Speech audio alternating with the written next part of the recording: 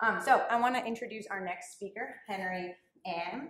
Uh, Henry is a graduate of Newcastle University Business School, and he has over seven years of experience working in the B2B software industry. While he was at school, he ran a startup company and learned how to program in a coding club. Impressive. Henry works for Adenin Technologies, which creates intra, intranet applications for businesses and is based right here in Boston. He's part of an innovation lab responsible for making big leaps towards software for the digital workplace, moving away from monolithic architectures at the heart of most intranets today. This push has enabled Adenin to develop an award-winning app called Now Assistant, the world's first AI assistant for the workplace. Henry, the floor is yours. Thank you very much. So, um, hello everyone. I'm happy to be here. Thanks for joining me to um, my presentation, Making Intranet Smart, how AI and bots allowed us to create a smart assistant for the digital workplace. I know lunch is in sight, so let's get right into it. Uh, first of all, we live in a digital workplace age. Everything now is happening faster. The amount of data in the world doubles every 18 months. There is roughly 2 million people with smartphones worldwide. And companies need to figure out a way to leverage all of this in a way that helps them be more productive and stay competitive. But we're also entering a new era. Speaking in very broad terms, in the 90s, we had the revolution of the PC, followed by the internet, the advent of online shopping, social networks, the Web 2.0, until in around 2010, the iPhone, iPad, and the iTunes App Store uh, started to emerge as the dominating standard in consumer technology.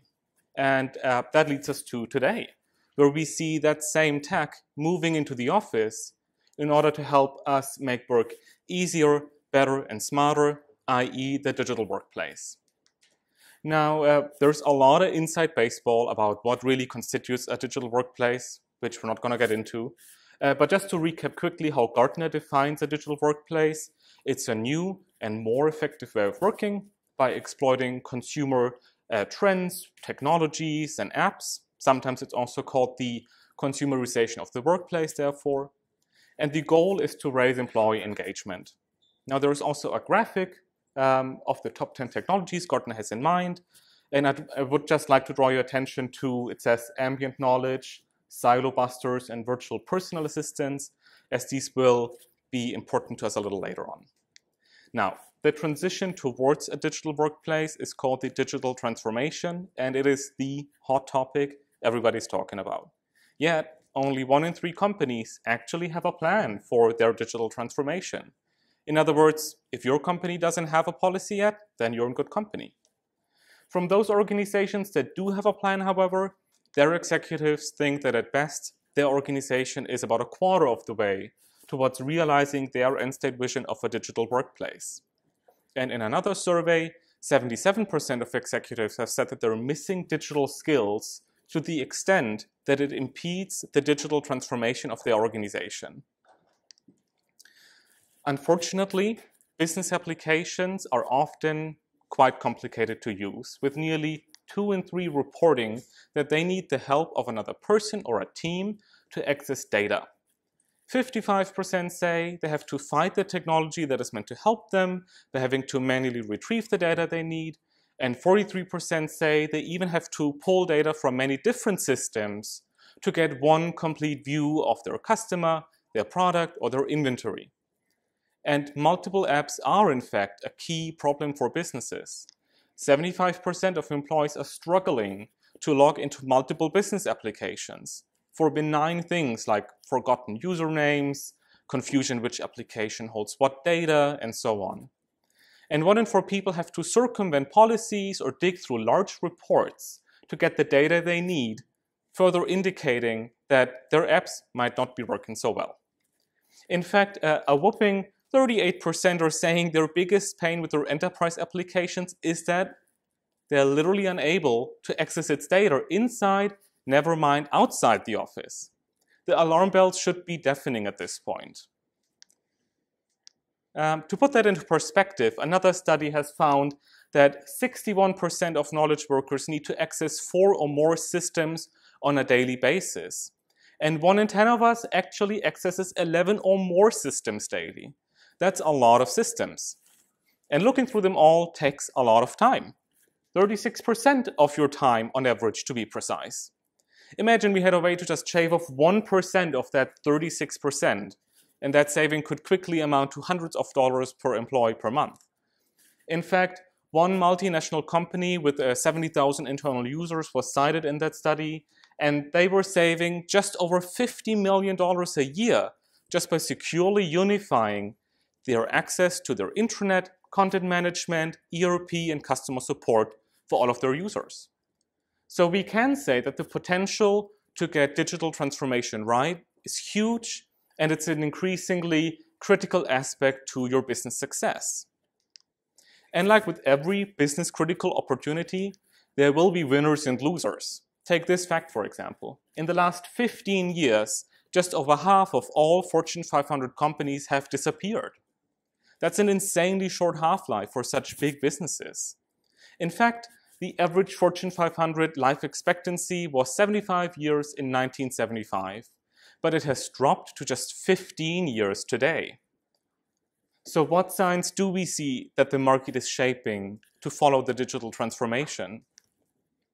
Well, here are just uh, three headlines I would like to share with you. Uh, American Airlines has replaced the uh, 40 pound flight bag with an electronic iPad version, which saves weight, which saves fuel, which saves money.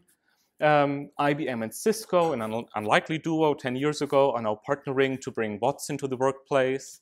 And uh, Box and Google are also partnering to expand their, you know, kind of get their share of the digital workplace market. Um, now, these three headlines, what do they have in common? What's the common ground between them?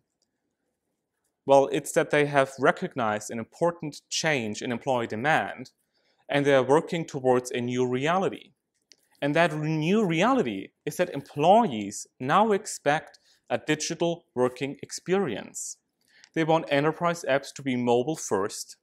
They want them to be relevant, showing only the info I, as an individual, will find important and valuable. They want things the way their iPhone works easy, intuitive, well designed, fun, maybe. They want uh, updates and changes to happen in real time and be informed about things as they happen. And they want technology to help further blur the lines between physical meeting rooms and virtual collaboration, which is maybe why Slack is so popular. But the struggle to get there is real. So far, two in three employees hate using their enterprise apps because they're just such a poor experience. No wonder, since two in three large enterprises have no current plans to invest in their own apps. Why aren't companies investing, you may ask? Because most of them don't even have a clear understanding of their digital touchpoints or what digital even means to them. What nearly two thirds of executives uh, do know, however, is that their organization needs to pick up the pace when it comes to digital transformation, which at least is a start. Now, uh, how do our intranets fare in the light of the digital workplace? Well, not that well, actually. In fact, your intranet may actually suck. Yes, I didn't say that. Um, most companies haven't upgraded their intranet in the past five years. So if uh, you're still on SharePoint 2010, then you're in good company. Since most intranets were built before the iPhone was even a thing, the experience on mobile leaves something to be desired. In fact, most intranets are strictly desktop only and VPN only. Intranets also don't incorporate much outside data, like your Dropbox or email attachments. They're literally just a silo for your policies, corporate news, legal things, you know, boring stuff. And depending on your perspective, this could be a problem. Some people say that the intranet is like a beautiful city library, like the one just opposite this hotel. They're beautiful, expensive places of vetted information but these days, folks just resort to Google instead. Which I went over there yesterday, and it was nowhere near as full as this photo suggests, uh, so that may be a fate shared by most intranets. So overall, there's very little digital workplace mantra going on in contemporary intranets. Now, I wouldn't tell you so much bad news without talking about the silver lining. There are ways that can help bring your organization or bring the intranet of your organization into the future today. So how do you make an intranet smart? Well, we identified three key aspects um, that help companies innovate. And the first are new ways to search. The second is card-based user interfaces. And the third are uh, chatbots for conversations between human and data. First up, search. Current intranet search is not so smart if we think about it. Let me explain. When you ask a, a contemporary intranet, let's say SharePoint, a really simple question, how many days of annual leave do I have left? Then the answer you get is zero results, which may be unsurprising, but it's still frustrating. So um, search, while obviously making an appearance in almost every software you use, is attested to be seldom executed well, and even when it is, it's still too expensive and complex.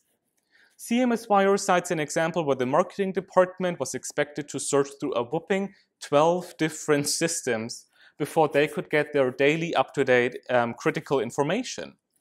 And I think no one in their right mind would use Google, Yahoo, Bing, let alone nine more, nine more search engines just to look up a simple fact. So I think it's fair to say that intranets are overdue for an update. And there are new ways to understand your users.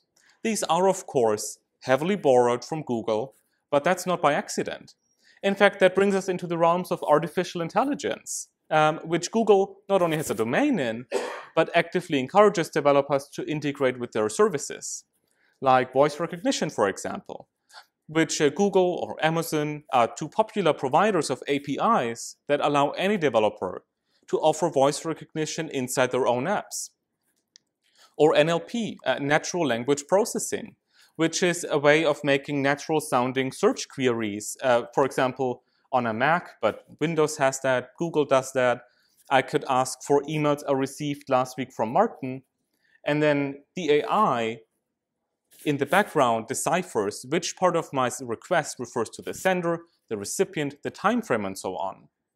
And that's tremendously interesting once companies start and provide answers to their users' questions, which brings us to the format in which such answers could be delivered to users, and that's cards. So let's imagine for a second I'm asking my supposedly now smart intranet the same question, but only this time I get a card. Hmm, that's an interesting concept. We have an instant, definitive answer. We also have rich media like a teaser image, visualized data, a bar chart or a line chart. And of course, relevant related info. If I have a question, if I have a problem, who could I speak to, who could I call that could help me solve it, what are the policies that I need to read up on. And lastly, of course, meaningful actions. So I can start a new leave request straight from this card, which is neat. And the card actually shows information from across multiple sources. Like one section is coming from your HR software, the next from Active Directory, and so on. Uh, the more the merrier. And there are two types of cards. I have a, basically a proactive card, which the assistant offers to me in case I wanted it. And we also have a reactive card if I'm required to start or decide something. And these reactions, again, could come from very different systems, which may or may not handle workflows in their very own unique way, but cards, again, unify this experience because of their consistency. Lastly, let's look at bots. So you will have already heard about them. They're quite the buzzword recently, but what actually are bots? They're essentially a new form of user interface. Instead of every application, you know, relying on their own little buttons and menus, bots share the same interface and that's a message. Now, some of you might say, oh, that's kind of like Linux or like a command line from the 80s. And that's true, but there's also a key difference, and that is that bots try to mimic the interaction with you to be similar to how a human would interact with you. And there are different kinds of bots for things like um, e-commerce, flight reservation, pizza delivery, you know. Uh, that doesn't mean they all have their own app. Uh, they're integrated into one and the same messaging app, effectively making messaging apps the new platform for bots. TechCrunch already uh, last year predicted that bots will replace apps and bot stores will be the new app stores. And the founder of um, Evernote has said that bots are the most exciting thing he's seen in tech since the iPhone. And uh, last year, all of this could have been fortune telling. But since this year, both Microsoft and Facebook have introduced their own bot development frameworks, it's um, you know a given that they're here to stay. But how could bots function in a business environment? Well, similar to, to apps, bots will have a very narrow skill set, so they can do just one or two things, but those relatively straightforward. So um, in your company, you might have many different bots. And um, if we just stick with our leave request example, then the bot would have to capture three different things from the user, the duration of the leave request, the reason, and how much leave they're entitled to take. Now, the first, the duration, the bot would capture in an informal chat with the user. The second, the reason, be it jury duty or um, annual leave or parental leave, um, also again in a chat interface. But the remaining leave, for example, the bot could actually look up straight for, from a payroll software. So, uh, you know, they're just short and sweet. That's sort of the idea behind them. Now, using these three innovations actually has manifested itself in uh, what we call the Now Assistant. So this is an awarded app uh, by us, by Adenin, which is um, the world's first AI assistant for the workplace. And now we'll see how this app makes an intranet smarter. So uh, this is how it looks. Uh, it shows you, proactively notifies you about updates in any of your data. It does so through what we call now cards. So they follow their own kind of logic and architecture. And the stream that you see is always personal and up to date, which means if you have an unassigned workflow or a ticket, but someone else takes over that workflow, then the card would be redundant to you, so automatically disappears again. And um, of course, like I said before, Now system uses AI and bots. So the question is how? Uh, first up, AI. For example, the AI part uses voice recognition, where here you can say something to your assistant and then it understands that. But once we've understood it, we also try and decipher what the actual intent was by using another form of AI. And basically that makes a best bet at what the user might have wanted from the assistant and then fulfills that request, for example, by serving here a card or starting a workflow. Uh, there's a diagram of what's happening as well. So first up, we have the voice recognition, which leads into the recognition of the intent. And of course, uh, this is a skill we need to continuously teach and practice with the AI. And uh, all of this is what we would call artificial intelligence. But uh, carrying on, once we've determined uh, um, what the user has said, we will be sending the request for fulfillment to the assistant, for example, to start a search or a workflow or answer a question. So this is how this would look, for example. Uh, here I have its api.ai. For the leave request, I can give the AI a couple of specimen voice prompts that we would expect users to use. And then we define the action, which in this case is to serve the PTO, the pay time off card. Um, and then I could also, there's a training section, uh, train the AI to better understand the sentences that maybe it didn't get quite right but we also uh, use the assistant inside bots. So instead of giving output as cards, we could give the output as a text block in Slack or Skype for Business. Uh, so here I'm asking for the same question and I get the same answer, just in a slightly different format, which is handy because you can use this for commands or search wherever you are, be it on your phone or your desktop. Um, but uh, Now Assistant also embeds into existing intranets. So take SharePoint, for instance, where you get like a little uh, Now button, which sort of slides open your assistant. Or we have a Chrome extension, which um, you know uh, shows you your cards. You can start a voice uh, a search request. You can swipe your cards. It works really well, and it feels like entirely like an entirely smarter way to use an intranet. Um, so in conclusion, the aim of the AI is to surface relevant data from across multiple sources, thus making better use of the tons and tons of data you will already have.